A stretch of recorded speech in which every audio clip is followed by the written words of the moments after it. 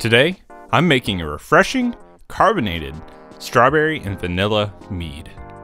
Let's get started.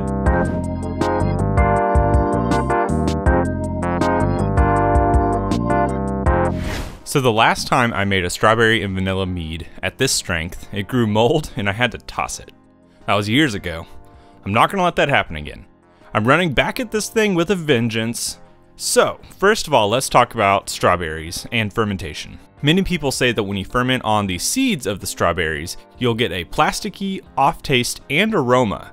I believe this is true, partially true, because I've had it happen before, but I didn't really do anything to fix that for this brew. So I'm telling you right now, if you want to get rid of those seeds, you can always puree them, puree the strawberries, and then strain them through a fine mesh strainer. This will normally get rid of those seeds, and you won't have that problem. For this mead, I cut up about 3 pounds of fresh strawberries and put them into some water with pectic enzyme. I put that container into a refrigerator so that they would cold macerate. The pectic enzyme breaks down the fruit skins so they produce more juice. The cold macerating also helps with this and helps ensure that mold cannot grow because it's a colder environment. That sat about two days and then I pulled those out. I took this recipe on screen, which is enough to yield about three gallons of mead, and I started to mix together the recipe. I mixed it really vigorously with a stirring drill attachment, so the strawberries were basically pureed by the end. The honey I used is from Walmart, so this recipe should be accessible for most people. It's just basic honey. I used the Lalvin 71B1122 for its quick and clean fermentation, nice fermentation temperature range, and its notability to do well with berries. I wanted to add my vanilla bean later because I didn't want it to be fermented on and lose any of the nice character that comes with it. After mixing everything together, I took a gravity reading with my hydrometer and found out that we have a starting gravity of 1.044.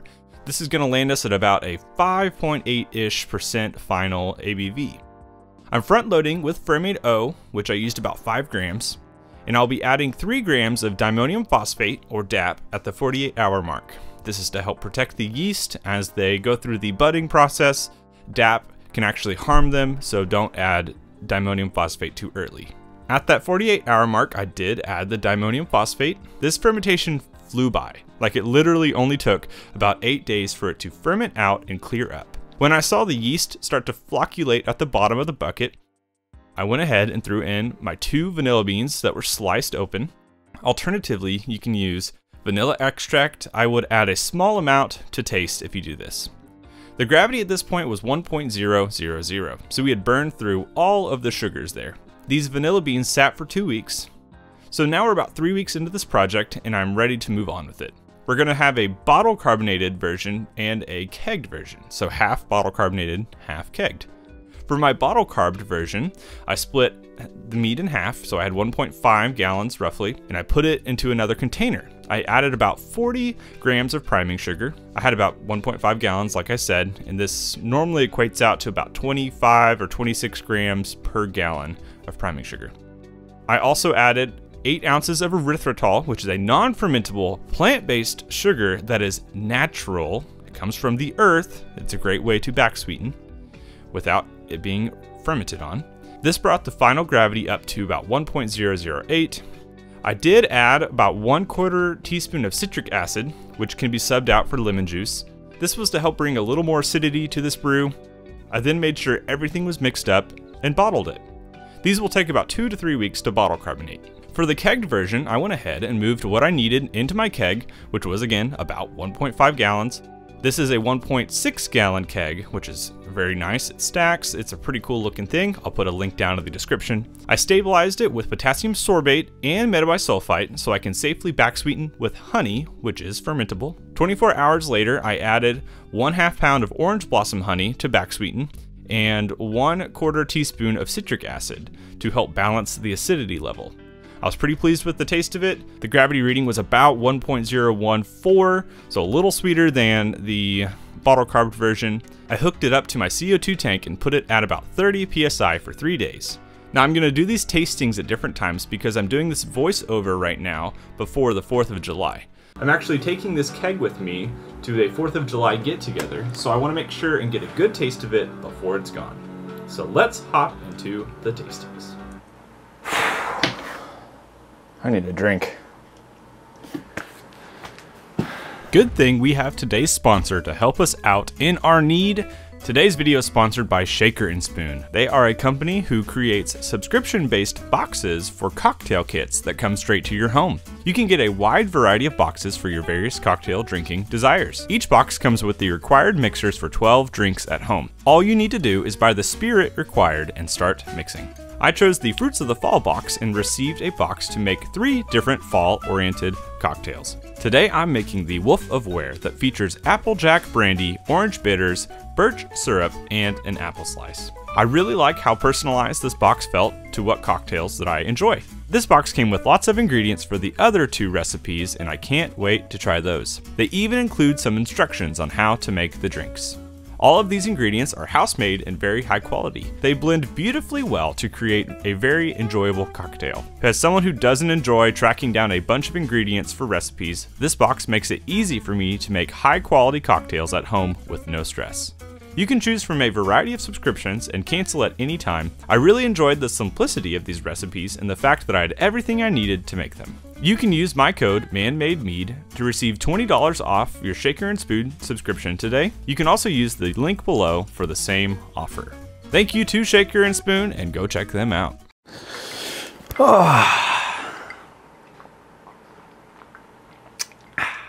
Back to it. All right, all right. Settle down, settle down. Is that a gavel? I don't know. Um, uh, let's finish this video. I have both of them right here. I have this keg version, which it's been three weeks since I bottle carbed this guy. Keg version over here.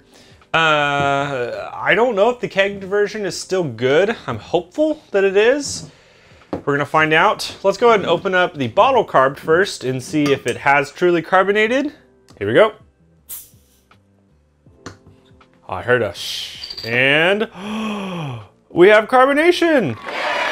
Oh yeah, that was perfect. All right. I'm not not surprised that it bottle carbed, but thankful that it did. So, bottle carb version. Look at that guy right there. Oh, looking good. We'll say it's not super clear. That is one of the cons of bottle carbing is sometimes when you use priming sugar and yeast are still involved, they can muck it up. Um, let's go ahead and get the keg version. Uh-oh, I did not hear a with that guy. But there's still carbonation. And it's still carbed.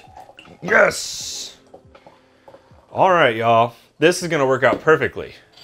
So, what I did, by the way, uh, um, I think I mentioned it previously in the clip, but I took that keg to a 4th of July party and it was literally almost entirely gone. I got home, and I was like, maybe I can get a bottle of it to save for the future. And I literally filled up this bottle to the very top and then tried to do another bottle, and that bottle didn't happen. So this is the last of the kegged. All right, let's go ahead and denote some things. Let me take a picture with my phone because I don't know if the naked eye is gonna be able to, or the naked eye, the camera is gonna be able to see this. Okay, so looking at the my left hand, or the left side of the screen right now. This is the bottle carbed version, and you can see it's a little more red, a little more kind of burnt orange. The keg kegged version is a little more just uh, yellow, less burnt orange. I don't honestly know why that is. That's a little interesting to me, um, but that's all right. So let's go and start with the bottle carbed. Oh yeah, I love this combination, by the way. Strawberry vanilla, by far a top few favorite combination of fruits and spices. That carbonation is refreshing, nice strawberry note coming through, not really getting a plasticky vibe, and you get a plastic vibe from the strawberry seeds. Not getting that here, thankful for that. The vanilla is pretty soft, but it adds softness to this brew, so it's just kind of uh, warming and inviting. It's kind of like a nice little hug between the sweetness and the strawberries, which there is a little sweetness here. Now that sweetness is also very nice. The strawberry character is so prominent I think 71B is a super solid yeast to use for this recipe. That's pretty dang good. Super refreshing. It's 100, 100 degrees outside, so this is very crushable for me. Flip to the other side, here's the kegged version. This, of course, used honey to back sweeten and then force carbed. Oh yeah. The honey there brings out, of course, floral notes, sweetness. It kind of helps retain more of that traditional mead kind of character you want, but it doesn't totally deter from the strawberry. Carbonation, super nice. The vanilla, again, it's like a nice hug between the, the honey and the strawberries. So this is now, because of the sugars we used, these have become two different brews. Erythritol is obviously not the same as honey. I don't think that's a surprising fact for anybody. It does have a different taste. So I get more bright strawberry character from the bottle carbed than I do from the keg carbed. The keg, keg carbed is a little more warm, obviously has more floral value. The strawberry is like a, it's just a, it's a different kind of strawberry. It's kind of like, I don't want to say candy-like strawberry, but it does have a, a more candy-like vibe than the bottle carbed. Both of these are very good. And I think if you're looking at making this mead, you can go either way. Here's the bottle carbed version. Here's the keg carbed version. Obviously, everybody's gonna do this differently. Some people have kegs, some people don't have kegs. My recommendation to you, if you can do it, get a even small kegging setup because it will change the way you brew. It's, it is an investment, but it's an investment. Keyword there. You will see a drastic difference in your brews. Feel free to make the bottle carbed, feel free to make the keg carbed version, but I have really enjoyed this and I'm super excited to make this again. I'm actually, here in a little bit, I'm gonna go out and uh, buy some more frozen strawberries so I can go ahead and start another batch of this because it's still summer. This is the easily one of the most crushable summer brews I've ever made. And I'm gonna make it again and again and again. So thank you for watching. I hope you've enjoyed this. Um, we are always pushing to grow the mead world. And the only way to do that is if you will share your mead you make with your friends or you will share the content that you're consuming with your friends. So if you like this video, feel free to send it to a friend and say, hey, let's make this. So, thank you again. I'll see you next time. Cheers.